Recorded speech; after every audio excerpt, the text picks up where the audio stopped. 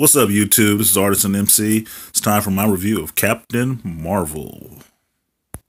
Look into my eye. Yeah. Yeah. 2 Chainz. What's that on that beat, ho?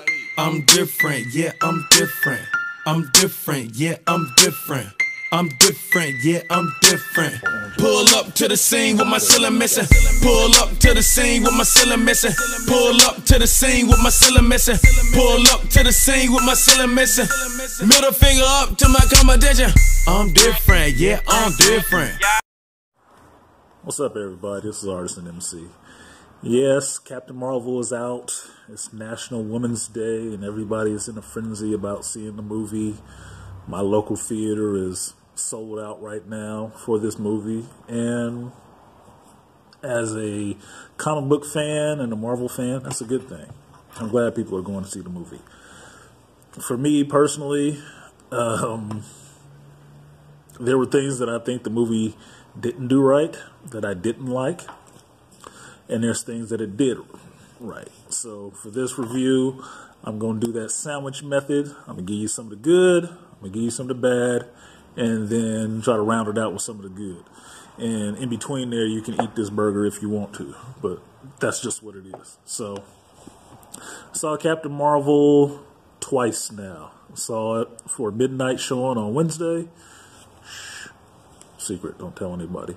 And then I saw it again last night, Thursday, for the seven o'clock showing with uh, the normal audience. And the audience I got for that one was not what I expected. I mean, I expected a lot of women in the audience, which there were, but there was a lot of guys in there.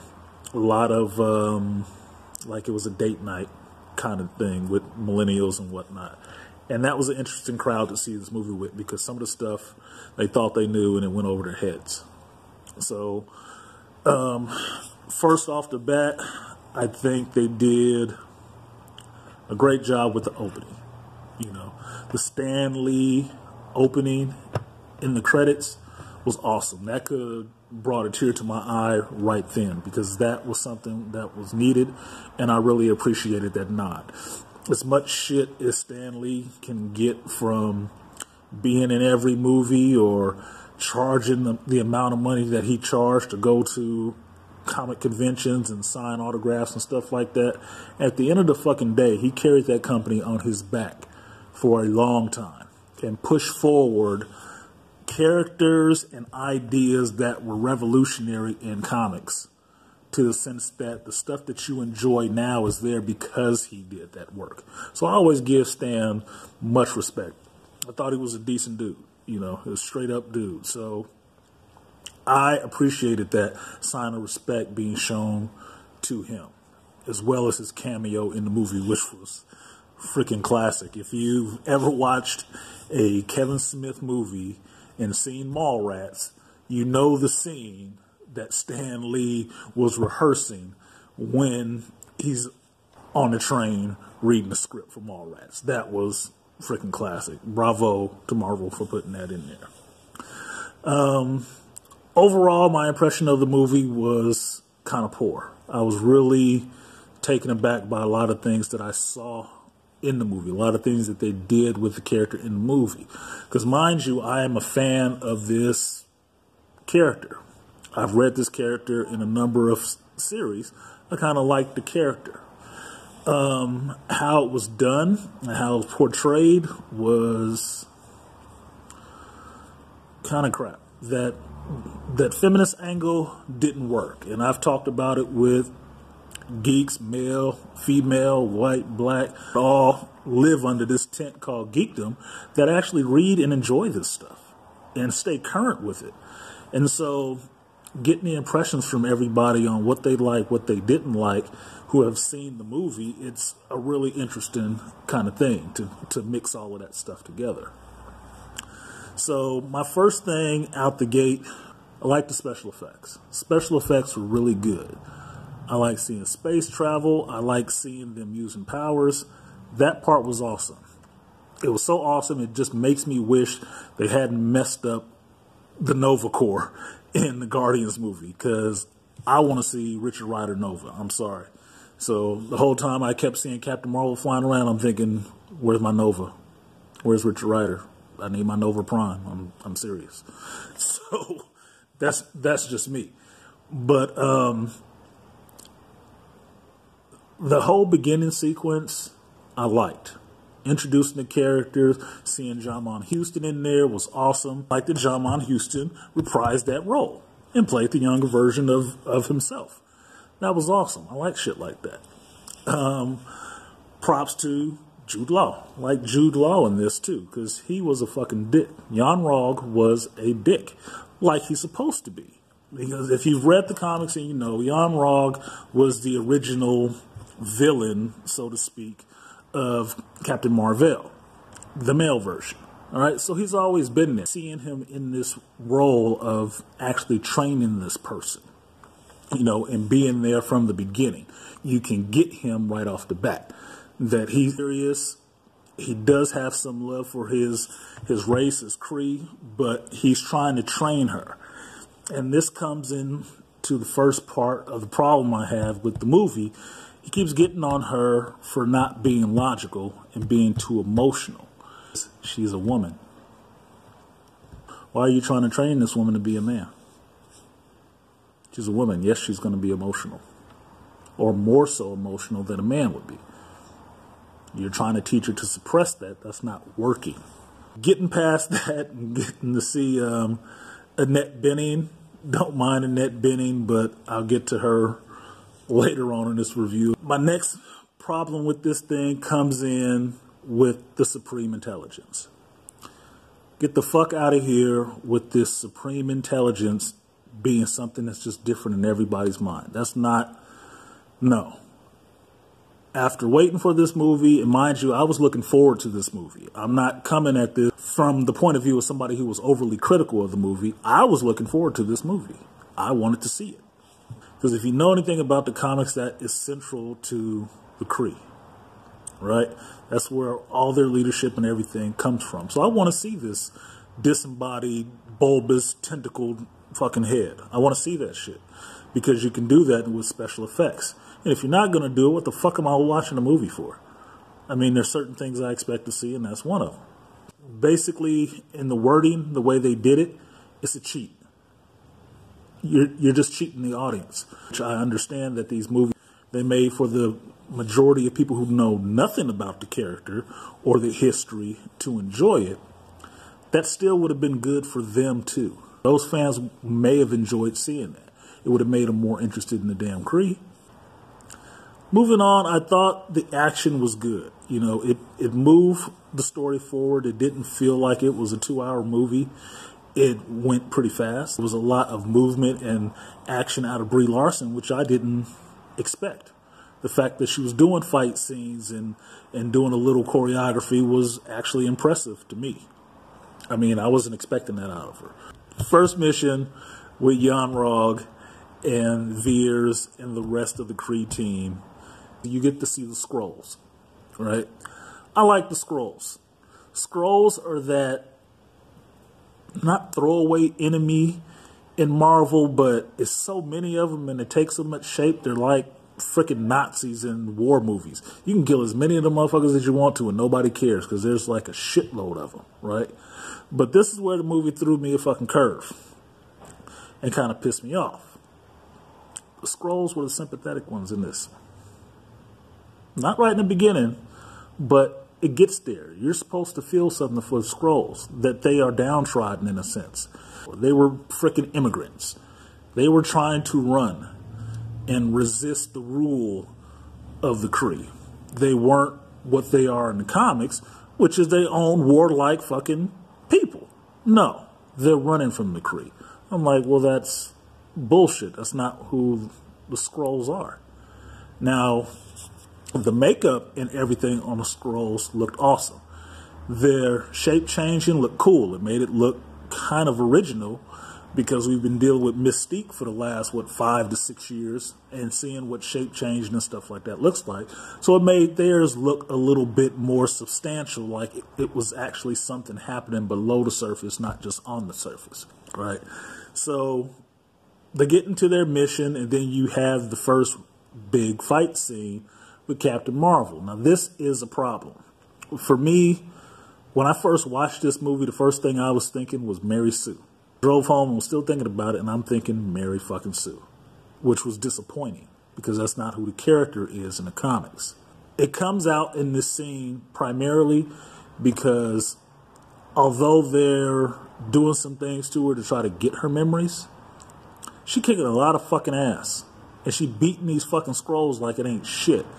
Now, just five minutes ago, I saw her not able to handle Kree commander who's training her. She can't even handle him without using her powers, which is the other thing that bothered me about this movie. Too much use of that photonic power. What in the fuck? It makes the character look weak, like the character can do nothing else but use this. It's the equivalent of a jackass pulling out a gun. I got, a gun, I got a gun. You don't do that. If you are confident in what you can do and your abilities, that's not the first thing you go to every time. It was too much overuse of that. If they would have toned down the usage of showing her ability like that, I could have actually saw the floating head that I wanted to see. But I digress. We get to this first scene and she's whooping the shit out of these Skrulls. And if she's by herself being able to beat the hell out of these Skrulls, why is this war going on for so long? You know, what's the what's the holdup in this war? It seems like they pretty fucking easy to handle. This is the premier makings of a Mary Sue. Why is it so easy for her to defeat these people and the whole Kree race still trying to wipe these motherfuckers out and can't do it? Don't tell me she's special just because she's blonde. Come on, give me something. You know, you get her running into the Skrull Commander, Talos, played by um, what's his name, Middleton. I'm forgetting his first name. Love this dude. This dude should be like he should have business cards that say professional villain because he make a villain look fucking easy and fun. The acting at that point after that, when you get the introduction of Sam Jackson as Nick Fury, um, Clark Gregg is is young Coulson. Comes to my second point. She was very fucking condescending to them. If she doesn't know what planet she's on, back on Hala, Krees or pure-blooded Krees are blue. So she's been seeing a lot of blue, different colored people. Now coming to this planet, she is immediately dismissive of the people that look just like her. It doesn't make much sense to me. The other thing that I didn't like at this part is that that Nick Fury referred to the organization that he was in as SHIELD. Okay? Now follow me on this. This movie is supposed to be set in 1995. Now, if you've been watching the Marvel movies, you can remember when Coulson first showed up in Iron Man and he was running off the whole name of the SHIELD organization strategic, logistic espionage, whatever department, right? And what did Tony Stark tell him? It was a mouthful. And what did Coulson tell him? We're working on it. Now, mind you, Coulson is a seasoned agent at this point. Right? So, if the original Iron Man movie is contemporary to the time frame that it was released in, like 2000 or something, and this movie we're watching right now is at 95. Why the fuck is Nick Fury referring to the organization as S.H.I.E.L.D.? That's a hole. That's a mistake. Because obviously, movie wise, you know, they don't get that name until 2000 or something, not 95. The other thing I didn't like was um, Nick Fury being comical, in a sense when he's sitting down talking to Captain Marvel, he's saying he's a full bird colonel. That he's done spy missions, you know, in the Cold War and everything else. This is not somebody who would be overly joking. To me, this would be somebody who's who's pretty serious. And it would be somewhat consistent with what you see of Nick Fury in the other movies who is a badass, you recognize that. But he ain't cracking jokes all the time. He'll say something funny, but he ain't the fucking comic relief. And that comes to my biggest problem with Sam Jackson in this movie. That's who the hell they made him. The comic fucking relief. That was a problem for me. Because I didn't buy that. I didn't buy her being so dismissive and condescending of this guy. And I didn't buy him being the comic relief to her. In some senses, needing her help to save his ass. No. Mind you, I saw this motherfucking movie twice. Back to back. So, yes, the whole these two people are working together doing stuff is fun. That whole uh, kind of buddy cop thing is fun, but I've seen that shit so many times. It's like, how tiring is that? And she's always admonishing Fury to keep him focused. Like he can't stay focused on one thing at a time. You get the introduction of the cat that you've seen in every trailer, and he's just losing his focus on what's supposed to be happening in the mission. I don't buy it. No. It's a fucking, in a sense, it's a disrespect to that character. Because if he was that disorganized and that easily distracted, how the fuck did he get to his position? Merit? Affirmative action? So, the next part of this is the most interesting to me because it finally reunites Carol Danvers with her friend Maria Rambeau. And this is the part in the movie that shined for me because I like the interactions with Maria and Carol and Monica. Okay. These parts of the movie were good. I mean, I felt an emotional element in the movie.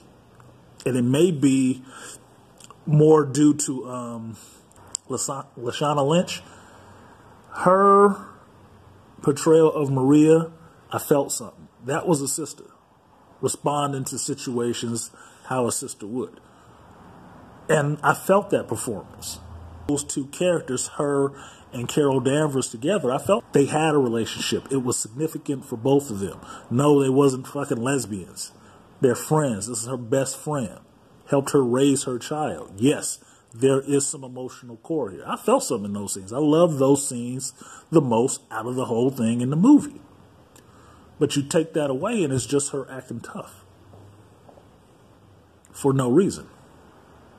With no backing. Even the little girl in it who's playing Monica Rambeau, where if you're a comic reader, you already know Monica Rambeau will end up being Captain Marvel and later Spectrum and Ultimates, which I freaking love. The fact that that character is in there is significant. It shows you you can actually go somewhere because they didn't have to throw that in there, but it's good. I like that she was there. Those scenes stick out because there is an emotional element and this it's played well. But you get right out of that into the next big set piece to find out that the Skrulls show up hella fucking casual and jokey and shit, which I didn't like. Why am I supposed to be feeling something for the Skrulls? Why do I care? Because they're being hunted? Why are they comical? Why is this motherfucker hella chill? So you get to the be the main point in the movie where you find out that this woman has had her mind wiped. And what she believed happened is not what happened. That they messed with her memories. That these people just basically kidnapped her from Earth, wiped her mind, and decided to use her as their weapon. And put a restraining chip on her to control her. That's fucking uh, ambush slavery. I saw 12 Years a Slave. It's basically the same fucking thing. So you get all that. They touch on it for like two minutes, and then it's over and done with. It's like she just forgot about it. They lied to me. Yeah, you pissed off. But you're Carol Danvers. Okay. And now she's moving on. I'm going to stop this war. Stop the war. Fuck the war. How about getting to the part where you seek justice for what was done to you? In addition, you help out these these refugees who are just trying to escape and find a new land. After that, you get them going up into space and meeting the rest of the Skrulls that have been hiding on Mar-Vell's ship. Now, here's the other part that I had an issue with in this. And one of my homeboys, my coworker, turned me around on it a little bit. The fact that they wiped Captain Mar-Vell as the male out of this movie and made it Annette Bening pissed me the fuck off. Because in one fell stroke, they made Annette Bening not only Captain Marvel, which wiped that male character out, but also the supreme intelligence in Carol Danvers' mind is Annette Bening, which wipes out another male character. So they wipe two male characters out, one of which is responsible for this character even having powers, wiped them out completely and replaced them with a woman, and just one woman at that. That pissed me off. That was some bullshit. But here's the caveat for that. As mad as I was about this, here's the caveat multiverse. This is a different fucking universe. It's the MCU. They do shit a little differently. So if you go to the current comics, yeah, her getting her powers from a woman or Mar-Vell being kind of pulled out of that whole situation has happened already. But that's more of the tail wagging the dog and not the dog wagging the tail, in my opinion. And it's been a problem in comics because they try to latch on to what the movie is doing instead of writing their own original work first. Let the movie follow you. Second part was Mar-Vell had a ship floating in orbit around the Earth, full of fucking Kree. So you mean to tell me these motherfuckers were floating up there in space for six years? And if you go back and watch it, it says it's a Kree Imperial ship. You mean to tell me Kree coming to this planet could not find that fucking ship? Anyway, getting back. get on board the ship, and here's the Skrulls, and you turn out that the Skrull leader, Talos, is just being reunited with his family. He's just trying to get back to his family. Well, that's all well and good. Still, why do I give a fuck? Why do I care if the Skrull gets back to his family? Because I know what it's like to want to get back to your family. It doesn't make me sympathetic to him. Whatever. The start reveal comes in that the whole time Mar-Vell was on Earth, she was developing a light speed engine. And this engine had a power source. And the reasoning behind Carol Danvers having these powers is because she blew up that engine and the power absorbed into her. Okay? No Psycho-Magnetron, no Captain Marvel the guy. This is how this shit happened. It was an explosion. Big bang. Call it what you want to. Fine. But what you find out once you get on a Mar-Vell ship is that this light speed engine, its power source is the fucking Tesseract. That Mar-Vell was up in his, her, floating lab in space, experimenting with the Tesseract that has an infinity stone inside of it, the mind stone inside of it, using that as a power source to make engines. So basically, Captain Marvel is getting her powers from the Tesseract. Or, if you want to break it down and distill it further, an infinity stone. That sounds like some shit.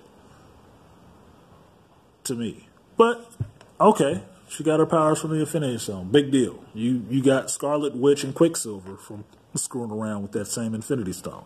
Fine. Okay.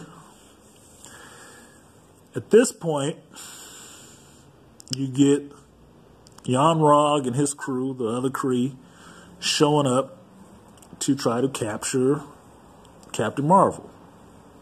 Because kind of, Yon-Rogg has kind of figured out that she knows the deal and what really happened to her. That at this point, it's no longer that she is the obedient Kree soldier. You know, she kind of going rogue. And they there to bring her back in line and kill these fucking Skrulls. Fine. Now, from here on leads into the biggest Mary Sue moment of this whole fucking thing. And I was talking to a guy in the shop about this, about if Captain Marvel was as big of a Mary Sue as Rey in Star Wars movies. And this is the part where I say she was a bigger Mary Sue than that.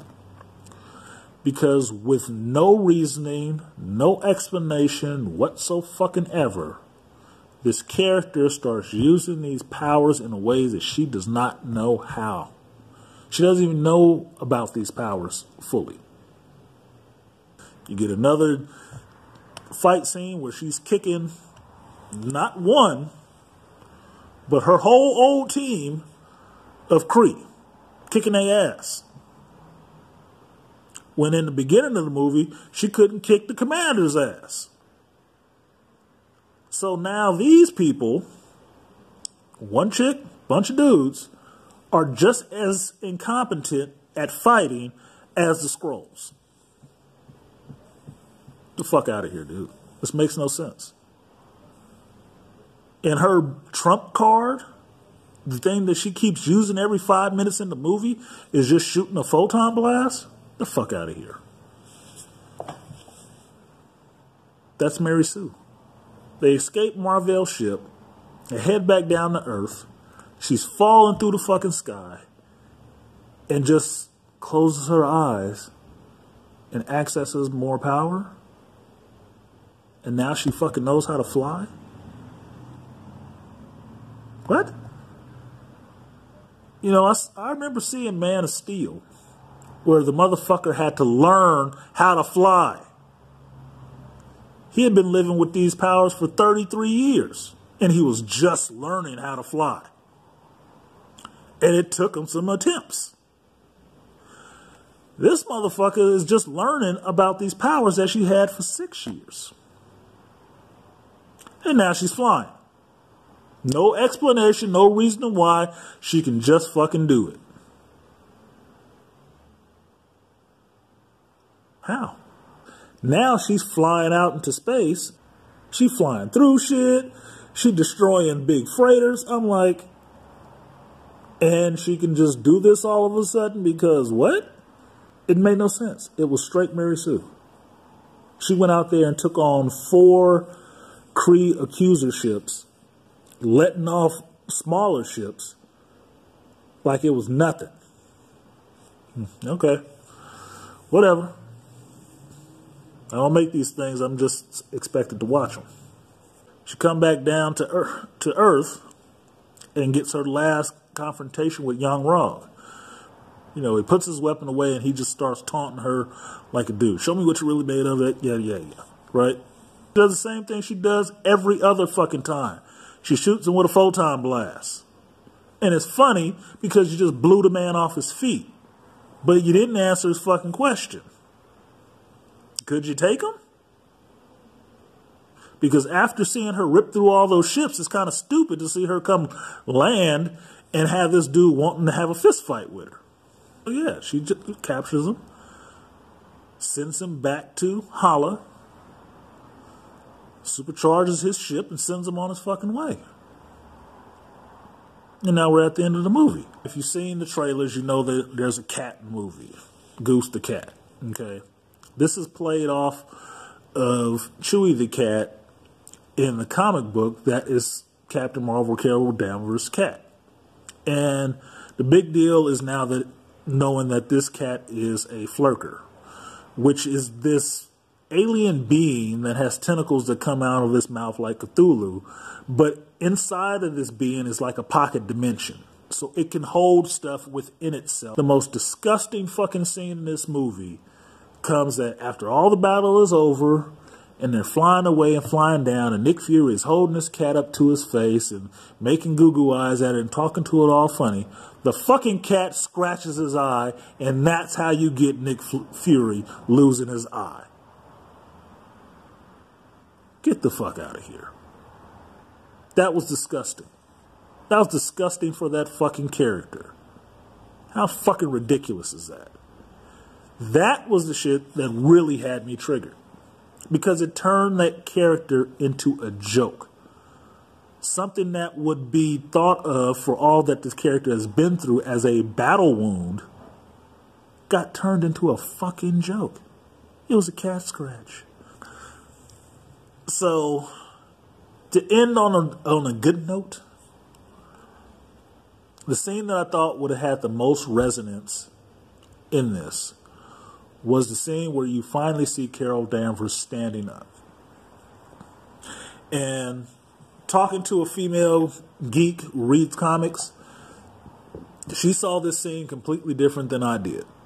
The misstep in this scene is that it's not that all these people were telling her that she wasn't good enough because she was a woman.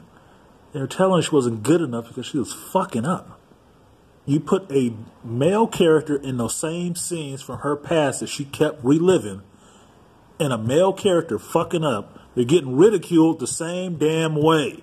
It wasn't because she was a woman, it was because she was a fuck up. And she was failing. You in the military, you supposed to be swinging from one, one rope to the other. You swing and fucking miss it and fall down. You think you ain't about to get ridiculed? Oh, you going to hear about that shit forever. That might be your code name. That is normal shit. It wasn't about her being a woman, it was about her failing. But here's the good part about it every time she stood back up. That was the strong part of that character is that Carol Danvers as a character fails a lot. But she always gets back up. That's what I like about Spider Man. That's what I like about Daredevil. That's what I like about Batman. No matter the ass whooping they may get, those guys get back up. Carol Danvers as a character gets back up. But it ain't because she woman. It's because she got that fire in her to get her ass up. If you're not a fan of this character, you would love this movie. If you're a female, you got young daughters, take them to see this movie. They'll enjoy it, and it'll be good for them. If you know the character, know the history, know a bit of the lineage, remember it's a movie and they change a whole bunch of shit every time. That's my review of this. A little longer than usual, but it is what it is. It was a lot more to say in this one and everybody was was hot on it. Okay, it is what it is. Like, share, subscribe. As always, peace to the Angry Man and the Angry Man Nation. Peace to Cerulean Gray and the Gray Regime. Peace to the Master Teacher BGS. And I will see you guys next time. Peace.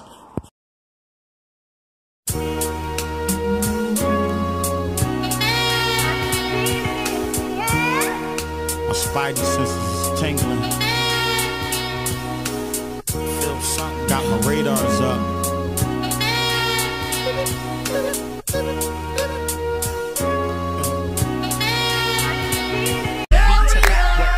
like that.